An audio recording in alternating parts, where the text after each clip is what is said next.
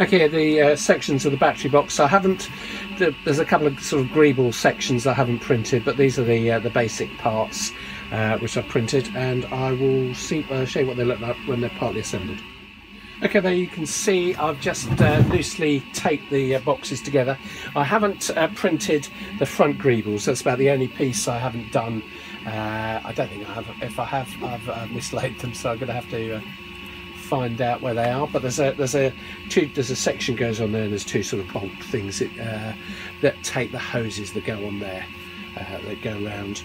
Um, so that is the uh, that's the right hand and that's the left hand.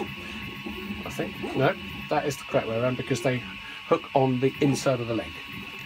They print oh, okay. And I notice uh, Mike Baddeley does mention about warping uh, on these pieces, uh, which did happen a bit um, and I lost, sort of shaved in a little bit there. The corners weren't perfect, but I think that's my printing apart from anything else. Um, edges were okay. I mean, generally, they're actually really good, considering the weird shape of them. Um, see end on. I think, um, I mean, they're not my best prints, but uh, I think they work out okay.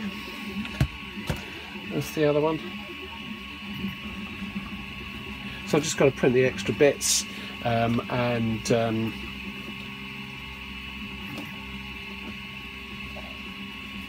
and move on. There's some small little dove, dovetail joints in there which work uh, quite nicely actually. I've just got to sand them down but they'll click in a little bit tighter. So they do actually lock in rather well those things. They're locked in, you can see them just in there, dovetails uh, and so that actually does hold together Oh no, okay, it's taped, but uh, so those are those boxes. I will show you uh, the legs, the, the rest of the feet that I've been doing as well. Okay, as you can see, that's part of one of the wheels. Um, this came out very well.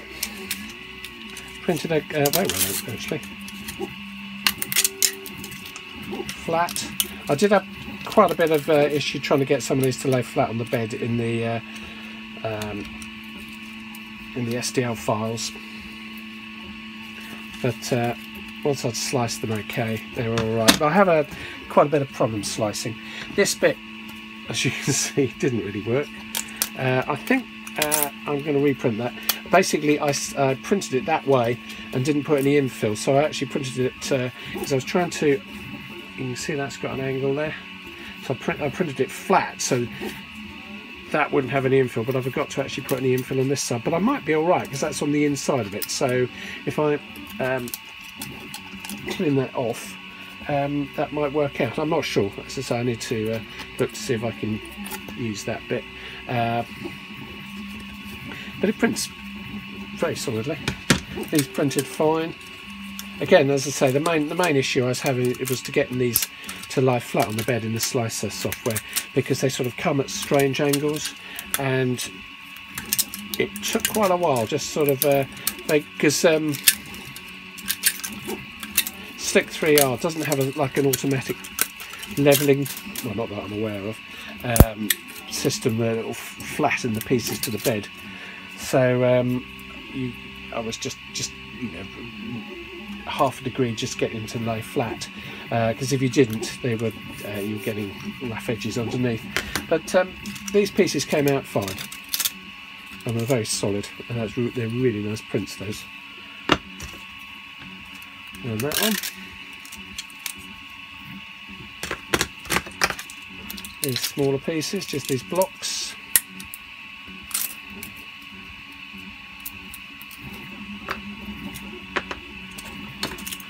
and these corners I think I've still got small bits and pieces to print. I haven't actually looked how this assembles, just as I say, I've just been printing away the bits, so have a look at this next week. Uh, that's that lot, there's still more to be printed on that one. I'll show you what else I've done. Okay, so there's um, parts of the uh, outer foot drive.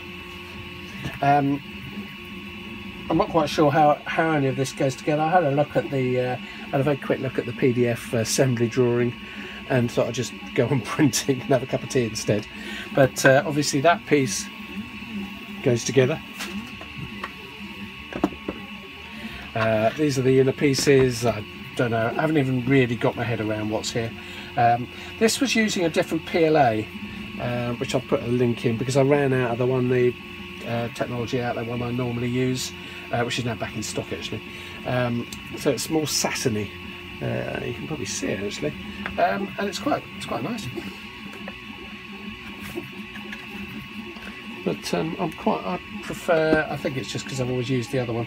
Uh, this was another cheap PLA I tried as well, um, which I didn't really like. I don't know if you can see the colour difference because that's like a satin colour. That's a very white colour. Because that would be the colour. I'll just pan over to the foot. If you can see the colour, that's the that's the PLA I normally use on the in foot there, uh, and that's that white one. But uh, slightly different colour. Doesn't matter. It's going to get painted.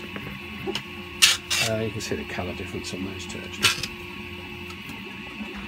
But um, this Satiny, um, let's that out a bit. Finish actually is really good. I mean, the quality is extremely good. So um, I've just got to print a load more of those and then try and work out uh, a head or tail of the PDF drawing. Uh, or maybe drink more tea and look at it. But um, so that's actually uh, almost as far as I've got in printing. I'm just trying to see if there's any more. I'll just have a rummage to see if there's anything else I've missed. Well, there's just a couple of things uh, still to, to go. This is what I've been printing today, which you've probably heard the uh, printer on in the background continuously. Uh, sorry about the noise. These are the gripper arm and interface arm. I think that's the gripper arm. Yeah, it is that. I'll just pan around and see what's printing on the, on the printer. That is printing. That's arm shoulder uh, of the uh, arm shoulder of the gripper arm. Yeah with quite a bit of support uh, because of the odd shape it, it is. So that's those bits. Oh, and it's finished. So that is. I'll just take that off the bed. Hold on a second. Okay, that was quite good timing. So that was the uh, that's the arm shoulder section. By uh, with thanks to Gregory Gregory Welch, as uh, Michael's printed on that bit as you can see I've put quite a bit of support in there because of this odd shape and I think that works oh yeah that does actually work out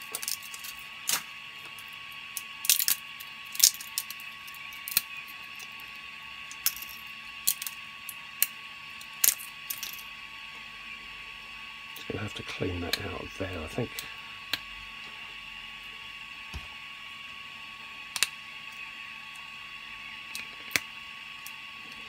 I'll work on that. Just got to get rid of that out of there, clean clean that edge up slightly.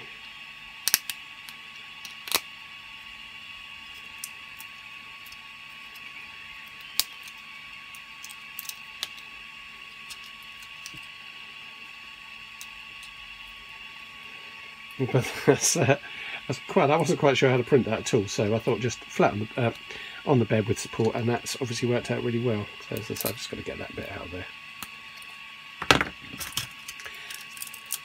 these pieces.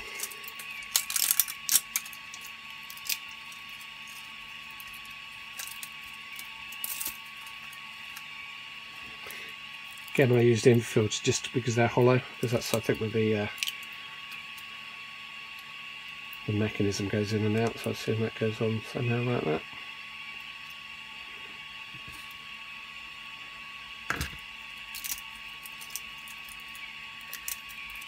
So they've actually come out rather nicely.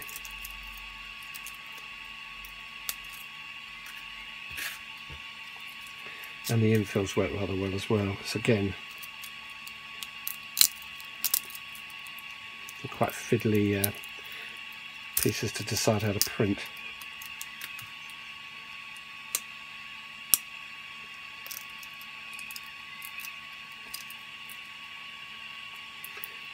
I'm rather pleased with it. It's uh,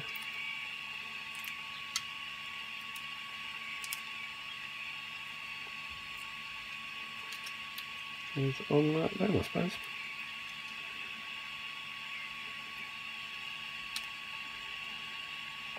You can see that.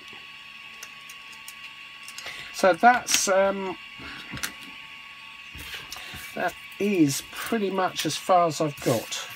Uh, well, I've got a whole new bag full of other bits and pieces there. This is, uh, these are parts of the, uh, the dome doors. But I'll go through those another time. I need to clean this up. But uh, as you can see, there's various bits, and a lot in there dome doors and the uh, mechanisms for the dome uh, relays, which I think I went through on a previous video. So there's, there's a whole selection of bits and pieces in there, uh, which need cleaning up and uh, sorting out. And I think that really is as far as I've got. So um, until next time, I will. Um, I'll keep printing. Thanks for watching.